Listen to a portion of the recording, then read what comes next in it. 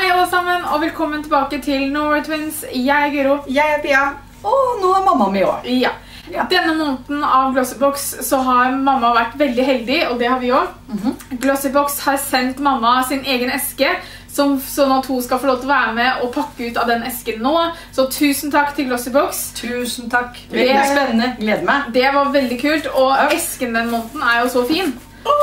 Så da Den er eh, Og temaet er altså be, be you og be strong, står det her. Be bold.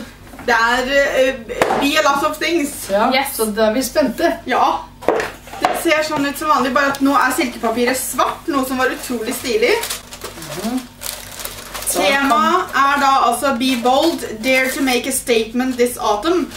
Altså Er, er, ikke I og dag i Moss er det snø, så nå er det, nå er det vinter. Høsten er vel rent teknisk over, men det Ja. gjør ikke noe. Oi. Uhu.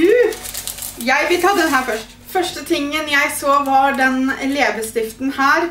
Det er litt rart, for den er ikke i mammas sin eske, så jeg tror de har klart å misse en eske, for han står på kortet, så han skal være der. Ja. Men det er bare noe man sier fra til Glossybox, og så sender de en uh, erstatter med en gang, for det har vi opplevd før, og det tok liksom sånn en dag eller noe sånt, og så satt vi her med det nye produktet. Så det er ikke noe problem. Det her er Trifle Cosmetics. Og det er da en Lip Parfait Butter Lip Cream i Nude Rose. Her er tingen, fordi at det her er en helt feil farge for meg, så mamma kommer bare til å få min. Og så for heller, når vi får erstatteren, så kan vi ta vare på en ting, giveaway eller et eller annet. En ting skal jeg si, at jeg synes pakningen på den her var jo helt genial. Veldig fin. Det er papir. Ja, det er liksom papp, men tegningen og sånne ting var Ja. kjempestilig. Milaiki, Milaiki. Den koster 165 kroner. Så det er jo så å si liksom hele boksen bare der. Men det er vegansk. Oi. Uhu. Så har vi fått en fotkrem. Det er fra merket Minus 417. Mm. Nyt en avslappende og fuktighetsgivende fotkrem for å ta vare på dine Oi. føtter i høst og vinter. Hydrerer din hud på, på dybden med en frisk følelse. Ja. Pluss Og det er at han lukta godt. Den lukta veldig godt. Det er noen fotkremer som kan fort lukte som sure føtter. Stramt. Og i disse tider er det er, du går jo med sokker hele Ja. tiden, og du, jeg får i hvert fall veldig tørre ben i den Og så er det en veldig grei størrelse. Ja, det her er Ja. 50 milliliter, og vanlig størrelse er 100 milliliter, og den koster 145 kroner. Mm. Så noe som vil si at den her er verdt sånn 72,5. Og så er det spennende da å kjenne etter hvor mye man skal bruke av den. Hver Ja. gang når du skal, fordi at den kan holde lenge hvis du trenger ja. å bruke bare litt. Mm. Pluss at du Ja. ser også at det er mye produkt i flaska. Ja. Når du alle bare holder ja, holder opp mot lyset. Fordi Ja, at du ser at det er produkt produkt. helt I hvert fall helt opp hit. ja. Ja, det på den Og ofte så kan det være at når du får sånne tuber, så har du liksom produkt herfra og ned. liksom. Mm. Men her ser du at det er mye.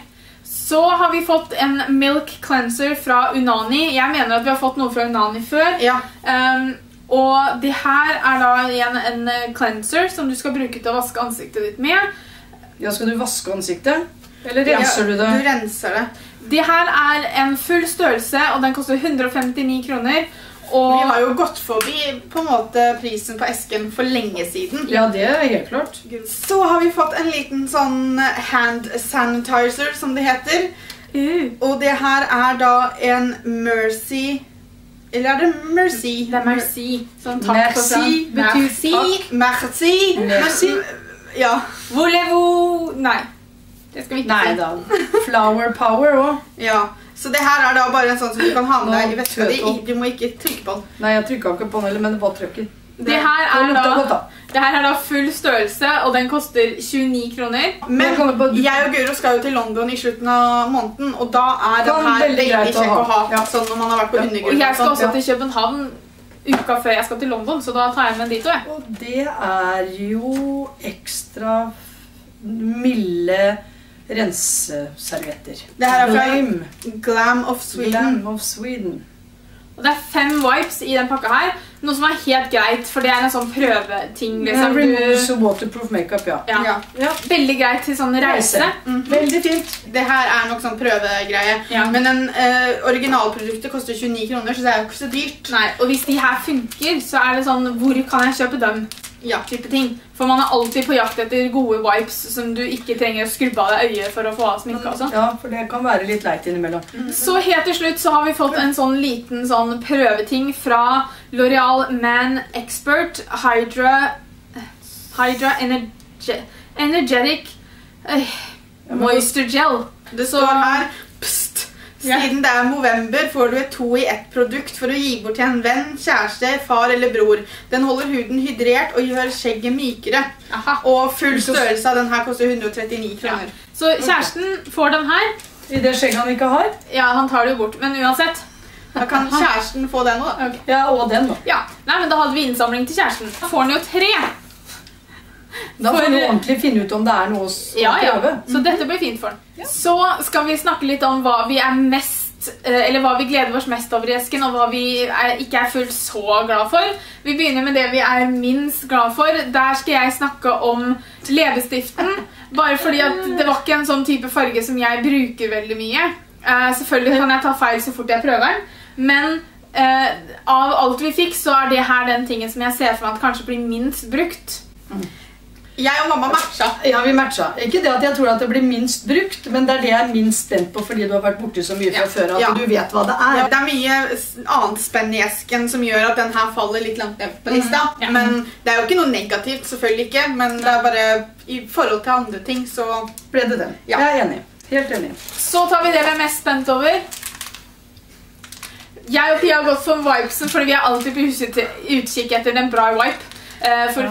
Det, det hørtes litt rart ut, men dere skjønner hva jeg mener. Sånn at vi er veldig spent på den. Og jeg er veldig spent på den, for jeg er litt kritisk til eh, fotkremer og har vært borti både dårlige og, og, og det som er Eller dårlig og bra, men det som er, er jo prisen. ja. Nå er jeg spent på den. Ikke i forhold til andre fotkremer Og som med lukta og fotkremer har det også med å være veldig drøye. Sånn at Mm. du, Da bruker du kanskje 145 kroner, og så har du fotkrem i kanskje to-tre måneder. Da sier vi tusen takk til Glossybox igjen, som lot mamma få lov til å være med Ja. denne måneden. Jeg syns Um, dette her er kjempespennende. Hva er helhetsinntrykket ditt av boksen, da? Ja, jeg syns det er bra. Jeg synes det er bra, Og det er jo spennende, men du har jo dette her med at ikke du vet hva det er i. Og det at du skal åpne Det blir jo litt uh, sånn mini-julaften Ja. hver gang, eller mini-bursdag, og det passa bra. Ja, Ja. jeg vil jo kanskje eh, forestille meg da at du som på en måte ikke har så mye peiling som jeg og Guro har. Vi har jo Mhm. hørt om veldig mye forskjellig, vi har prøvd mye forskjellig. Du er jo ikke så eh, Ikke så inn inni i det. dette her som Så- det vi er. Nei, så for sånn- deg så blir det jo veldig spennende. Ja, Og med sånne bokser, og, eller da med sånne ting som er oppi her fordi at det er så mye som for meg med veldig mye kosmetikk og sånn, Jeg bruker jo ikke så mye av det. Nei. Men allikevel så Nei, det er spennende, og det er artig med sånne bokser. Jeg har aldri hørt, hadde ikke hørt om det før, før dere begynte. Nei. Og syns det er kjempespennende. Og jeg prater om det og forteller om glossybokser og Ja. Så jeg må si at veldig bra. Tommel opp! Tommel opp. Tommel opp! Tusen takk for at dere så på. Tusen takk til mamma som ble med. Tusen takk igjen til. Glossybox. Tusen takk. Glossybox-siden er linka under her hvis dere har lyst til å gå inn og lese mer om boksen. Under her så finner dere også en link som dere kan klikke på gjennom Guro, sånn at hvis dere abonnerer på Glossybox gjennom den linken, så får Guro det som heter Glossy Dots. Tusen takk for at dere så på, og så snakkes vi. Ha det!